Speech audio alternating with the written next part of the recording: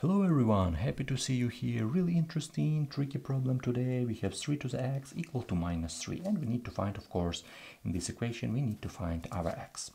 On the first side, this equation has no roots because we have minus right here. It looks like that and moreover, if we draw a, a real quick graph right here, so we have 3 to the x, we know that this is our exponential function, and minus 3, this is a constant in this part.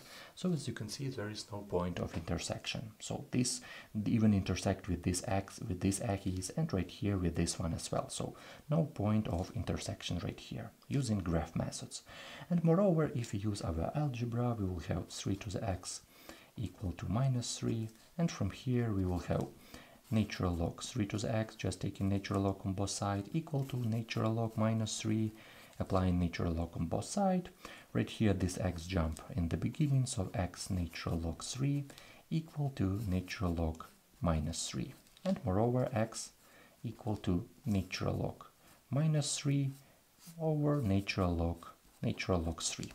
And if, if you know right here, right here, this has no any possible value, so this cannot exist natural log minus 3. So no real, no real, real solution. Solution. And of course, let's try to find our complex roots. Maybe we'll have complex roots, maybe we'll find our real roots, if it's possible, of course. Let's do this. First of all, I want to write it in another way. Let's write this 3 to the minus, uh, this minus 3, let's write in another way.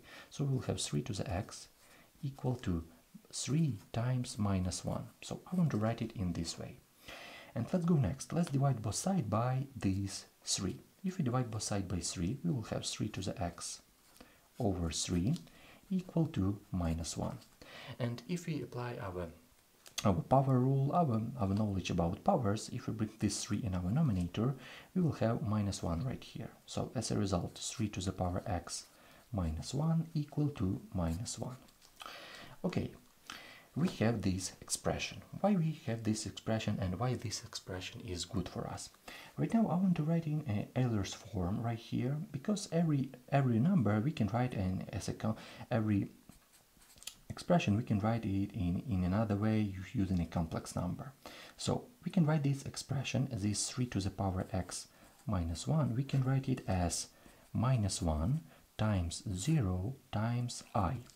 So if you know a little bit about complex number, this is good for us because 0 times i equal to equal to equal to 0 so this is good for us.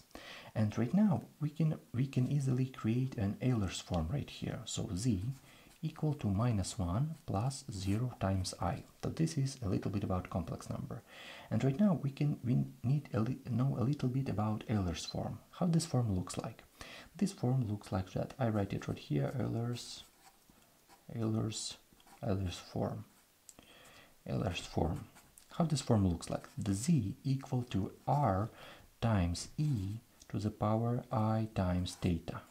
Okay, this form looks like where I write it right here down so we have where where r equal to square root of a square plus b square, so our real and imaginary part, and theta equal to tangent with minus 1 b over over a. Okay, we have this Euler's form.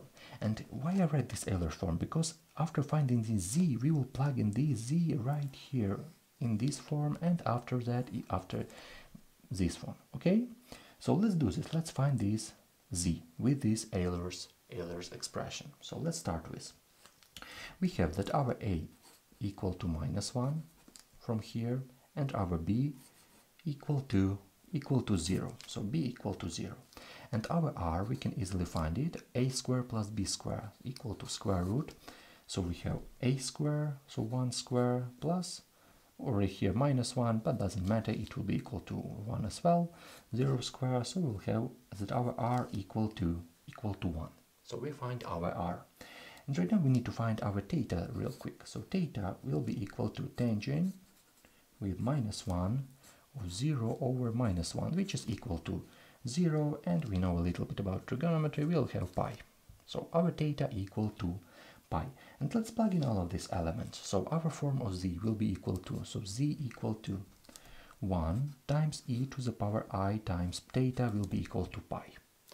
So we have this this expression. We have this z. So uh, and from here our z equal to z equal to e to the power i times pi.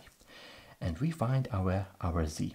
We have z right here and moreover our z equal to zz and z 3 to the power x minus 1 equal to our z. So we can easily write that our 3 to the power x minus 1 equal to uh, e to the power i times pi. And from here we will find our our x. But how can we find it? I write it at first in, in another way, so I write it as 3 to the power x minus 1 equal to e to the power i. I write it as a period, so we'll have p plus 2 pi times n, where of course n is a set of whole numbers. And let's let's find our x from here. How can we do this? Let's take e on both sides and let's take natural log. We will have e to the power x minus 1 times natural log 3 equal to e to the power i pi times 2n plus 1. Okay, let's find our x from here. x goes right here, we have e, we have e, we can easily cancel it. So as a result, we will have that our x minus 1, x minus 1 times natural log 3 equal to i times pi times 2n plus 1. Of course, every time n is z is a whole number, it's a set of whole numbers.